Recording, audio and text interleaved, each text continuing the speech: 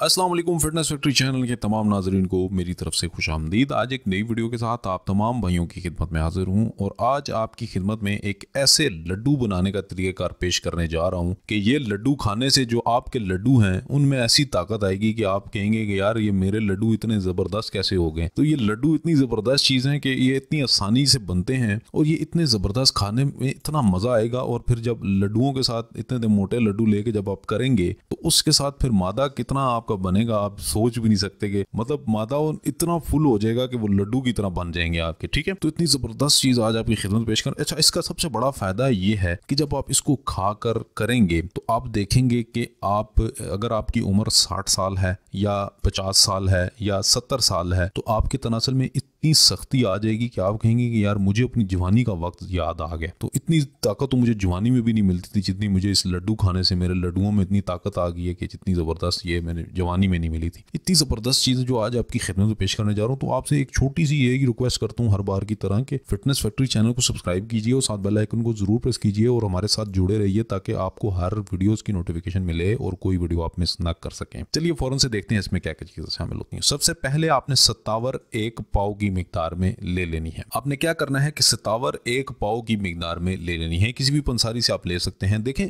थोड़ा से पैसे खर्च होंगे। पैसे तो खर्चने पड़ेंगे। देखें, अगर आप ज़िंदगी में अपने पैसे बचाना चाहते हैं तो यहाँ पर अपने थोड़े से पैसे खर्च कर लें, ताकि आपकी सेहत बरकरार हो जाए। एक पाओ सतावर लें, दूसरे नंबर पर मूसली सफ़ेद लेनी है। अच्छी वाली एक पाव की मकदार में। ठीक हो गया। तीसरे नंबर पर आपको चाहिए सिंगाड़ा। सिंगाड़ा आप देख सकते हैं कि सिंगाड़ा कितनी ज़बरदस्त चीज़ है और ये सिंगाड़ा खा के जब आप करेंगे ना तो आप समझ आ जाएगी आपको कितनी ज़बरदस्त चीज़ है ये। सिंगाड़ा आपने लेना है तीन पाव की मकदार में। उसके बाद आपको चाहिए शीर गाय, यानी दूध गाय का एक किलो की मकदार में। ठीक है? उसके बाद चीनी भी एक किलो ले लें और घी भी एक किलो ले लें, क्योंकि आगे जाके आपने इसके अंदर बनाना है। अब मैं आपको तरीका तैयारी बताता हूँ। आपने तमाम जितनी भी अदवाया, जैसे सतावर है, मूसली सफ़ेद है, सिंगाड़ा है, इन तीनों चीज़ों को बारीक अलग अलग पीस कर, सफूफ बनाकर इकट्ठा कर लेना है, ठीक है? उसके बाद दूध का आपने खोया बना लेना है। जब खोया तैयार हो जाए, गाढ़ा होने लग जाए तो इसमें तमाम अद्वियात मिला दें। मिलाने के बाद थोड़ा सा हिलाएँ। जब यकजान हो जाए तो उसके छोटे छोटे लड्डू बना लेने हैं, ठीक है? इतने लड्डू बनाए कि आप आसानी से खा लें। फिर इस घी को गर्म करके इन लड्डुओं को भून लेना है हल्का हल्का ब्राउन कर लेना है। जब ये ब्राउन हो जाए तो फिर चीनी का कवाम इसमें मिला दें और इसको अच्छे तरीके से मिठाई को इस चीनी में डिबो कर, डिप करके रख दें ताकि इसके अंदर मीठा शामिल हो जाए। अगर आप मीठा नहीं भी शामिल करना चाहते हो तो कोई मसला नहीं है। चीनी ना भी शामिल करें, आप ऐसे ही खा लें। वो ज़्यादा बेहतर रहेगा, वो आप आसानी से भी खा लेंगे। तो आप इन चीज़ों को खाएँ, ठीक है? मिठाई तैयार हो जाएगी। जितनी अच्छी मिठाई बनेगी, उतना ही ज़्यादा फ़ायदा